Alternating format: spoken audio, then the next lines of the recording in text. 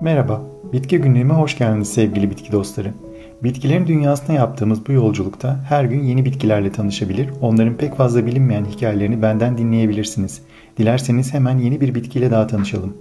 Hürgen ya da Latince adıyla Coronilla, Fabaceae yani baklagiller familyasına ait bir kır çiçeğidir. Bitkiye Türkçe'de korunga ya da koruganda denir.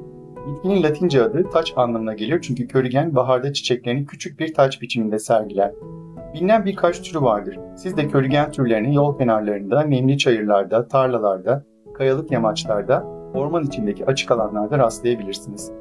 Körigen mera hayvanlar için zehirli olmasa da yüksek miktarlarda tüketildiğinde atlar için zehirli bir bitkidir.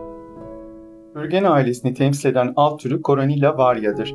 Kökeni Avrupa, Asya ve Afrika çayırları olan bu tür erozyon kontrolü ve topraktaki azot miktarını dengelemek amacıyla Kuzey Amerika'ya da getirilmiştir. Pembemsi ve mor çiçekler açan körigen bahçecilikte kullanılsa da verimli topraklarda istilacı bir bitki statüsü kazanabilir.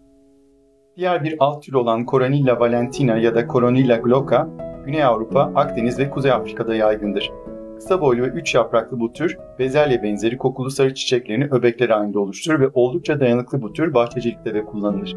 Bitkinin çiçekleri yalnızca gündüzleri koku yayar ve tüm körigenlerde olduğu gibi arı türleri tarafından tozlaştırılır. Coronilla scorpioides türü Türkçe'de akrep burçağı olarak bilinir. Ona bu ismin verilme nedeni tohum keselerinin akrep kuyruğunu andırmasıdır. Hoş kokulu olan çiçeklerinin kokusu katır yani spartium türlerinin çiçeklerine benzer. Coronilla juncea türü Akdeniz havzasında görülen otsu bir formudur ve onun da sarı çiçekleri vardır.